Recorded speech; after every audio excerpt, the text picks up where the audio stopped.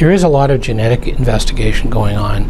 Uh, right now, the ones I, I know about the most are where large um, cohorts of uh, familial CLL patients, that is, patients who have CLL where there's one or two, one or two, first degree blood relatives uh, that have CLL are, are being studied because their families have an increased incidence of MBL.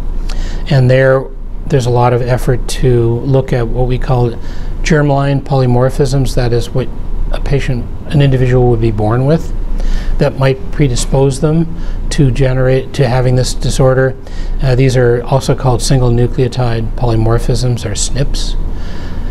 The reason that's being focused on in terms of seeing whether or not that's what true predisposition is to MBL is because in CLL, overt CLL, there are uh, over 40 polymorphisms that are associated with the development of CLL, so we think that's a good pathway to go.